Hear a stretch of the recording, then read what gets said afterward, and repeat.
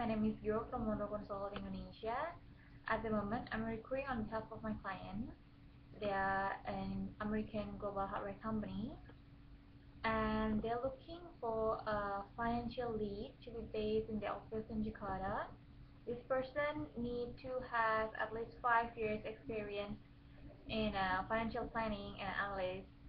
So uh, you also want a person who has at least two years experience as a business analyst. So um, below are the full requirements for this position. If you feel that you are uh, good and the right person for the job, please don't hesitate to apply. Thank you.